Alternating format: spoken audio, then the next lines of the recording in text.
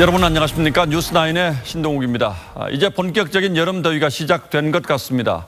어, 서울과 중부지방에 올해 첫 폭염 경보가 내려졌습니다. 아, 지금 이 사진은 오늘 낮 서울 전역을 열화상 카메라로 촬영한 사진인데 어, 이렇게 거의 전체가 붉게 나타날 정도로 날씨가 뜨거웠습니다. 어, 다음 사진을 보시면 이렇게 달아오른 아스팔트와 도로변 가로수가 있는 부분의 온도차가 분명하게 구분돼 보입니다. 낮 기온이 35도를 넘나드는 이런 폭염은 이번 주말에도 기승을 부릴 것으로 보입니다. 먼저 이승훈 기자입니다.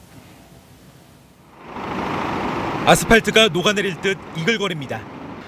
휴대용 선풍기와 부채를 들어도 열기가 식지 않습니다. 폭염 경보가 내린 서울은 오늘 낮 기온이 35도까지 올랐습니다. 포용주의보가 내리는 지금 33도가 더우면 앞으로 뭐 37, 8도 됐을 땐 뭐 어떡하라고. 대구보다 먼저 서울에 폭염 경보가 내려진 건 특보 시행 이후 11년 만에 처음입니다. 날씨가 엄청 덥습니다. 노인네들이 뭐 오고 갈 데 없고 그래서 이 탁골 공원에 와서 지금 쉬고 있습니다. 비닐하우스 지붕도 아지랑이가 피어오릅니다. 딸기를 수확하는 농민은 얼굴이 온통 땀 범벅입니다. 햇볕에 돼요 이게 그 수확이 이제 그 하루 밀려 나가면은 다 버려야 되는 상황이니까 그 수확을 매일매일 할 수밖에 없어요. 낮 기온은 지금 35도인데 이렇게 비닐하우스 안으로 들어가면 기온이 38도까지 오릅니다.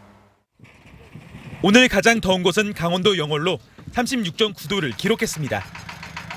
대전 34.9도, 수원 34.7도 등 전국에도 폭염이 이어졌습니다.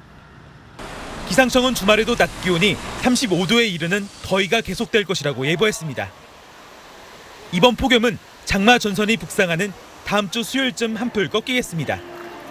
TV조선 이승훈입니다.